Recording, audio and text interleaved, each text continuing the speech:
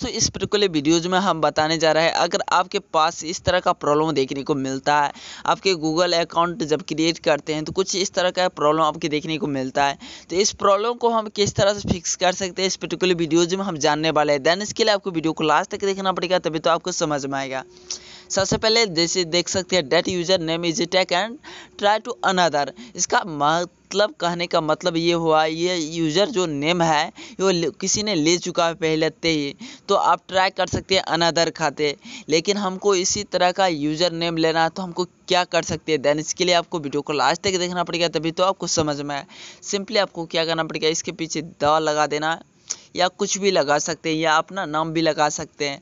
लगाने के बाद आपको क्या करना पड़ेगा? इसे नेक्स्ट कर देना है। नेक्स्ट इसमें द लगाकर आपको टी एच ई द लगाकर नेक्स्ट करने के बाद आपको ये यूज़र नेम मिल जाएगा। देन इसके बाद आप पासवर्ड सेव करके ये आप लगा सकते हैं। अगर दोस्तों वीडियो इन्फॉर्मेटिव नॉलेजेबल लगा हो तो चैनल को ज़रूर सब्सक्राइब कर लीजिएगा, क्योंकि इसी तरह का हम नॉलेजेबल वीडियो लाते ही रहते हैं। तब तक लिए टाटा बाय बाय